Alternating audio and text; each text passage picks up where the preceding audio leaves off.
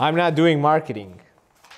So, we got fucking tired of reading posts like this, this, and that, and all of these.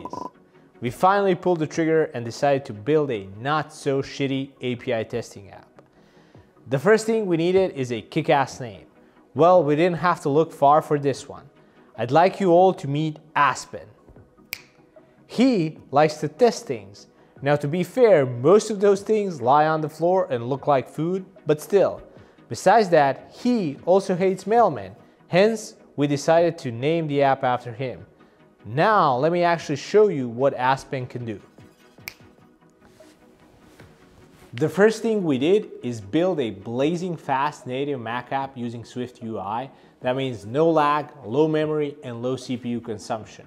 Unlike others, we focus heavily on privacy. You don't have to create an account or log in to use the app, and we don't send any test data to our servers.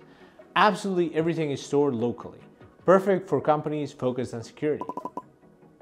But we didn't stop there. Just like every company in the world, we added AI to it.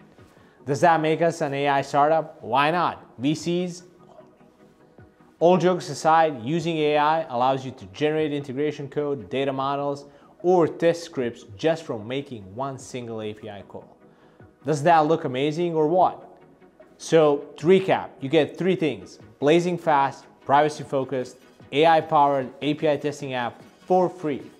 You can download the app from the Mac App Store today and start testing your APIs like a pro. See, I told you we don't need any marketing to do this.